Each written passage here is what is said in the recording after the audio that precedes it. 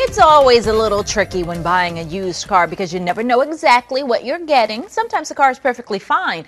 Other times you end up with a bad deal from people deliberately trying to deceive you about the car's previous damage, even those that have been totaled.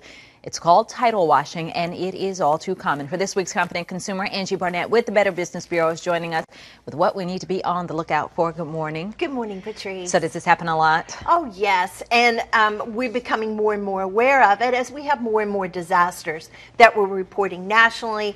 And uh, we begin to see these cars. And uh, an example, Katrina, mm-hmm. uh, a great example, the UCLA recent uh, flooding at the, the campus parking lot. Remember those? Yes. The footage of all those cars immersed in water. So when they pull those cars out, what do they do with them?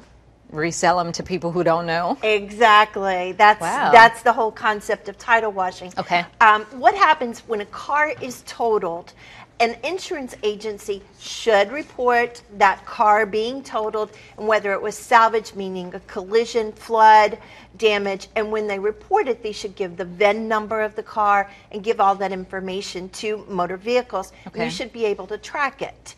Um, doesn't always happen, and some states are not that deliberate or conscious of this issue. So, what can happen is we can fix up a, a wrecked car, we can fix up a flooded car, do some cosmetic changes, you know, bolt it mm-hmm. together, then take it to another state, and get it retitled, and it begins to lose its uh, its record. That's so dangerous, though. I mean, is. if you're in an accident, or even not in an accident, I mean, you could be the accident just in that. Okay, let's go through um, uh, your list of what consumers can do because you don't necessarily know all that background information. So, the best ways to protect yourself, you said, first of all, start with a reputable oh, dealer. Absolutely, Patrice, and and you really need to go. If you're buying a used car, you need to be aware of your state laws here in Maryland. What laws govern us? What is the concept of as is, and how do you look for this? Maryland heavily regulates the title washing.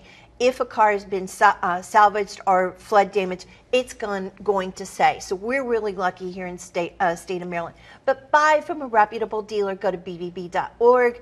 Ask your friends and neighbors. But that's the biggest thing, and that's not as easy as it sounds when it comes to used cars and because you because it's not then you need to do some legwork yourself. You say look for water stains and, and milk that kind of thing in a car. It is so important. Simply lift up if it has comes with car mats lift them up if it's got a seatbelt pull it forward because if it's been flooded, gunk may mm-hmm. be there. Uh, move the seats backwards and forwards. Look on your side deck, but look for evidence of mold, mildew, and just that grime. Um, if the car, I really say go to a mechanic with okay. a used car make a condition i'm going to go to a mechanic. Because a mechanic would be able to look lift the car up and look and see if it's actually been in an accident and any body damage or axle damage things that you should be aware of um, you know concerned about your safety as you pointed out. All right angie thank you. Good advice. Thank you. If you have more questions for the better business bureau about today's topic go to our website foxbaltimore.com slash confident consumer. You can submit your questions there